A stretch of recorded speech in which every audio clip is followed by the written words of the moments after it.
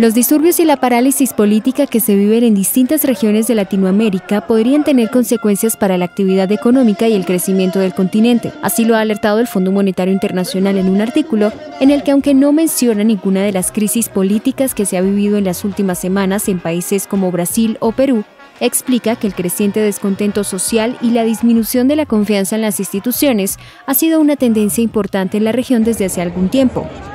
Las tensiones sociales ciertamente, según el artículo, se exacerbaron durante la pandemia. Las personas más pobres, en particular las que trabajan en servicios presenciales, fueron las más afectadas por las consecuencias económicas.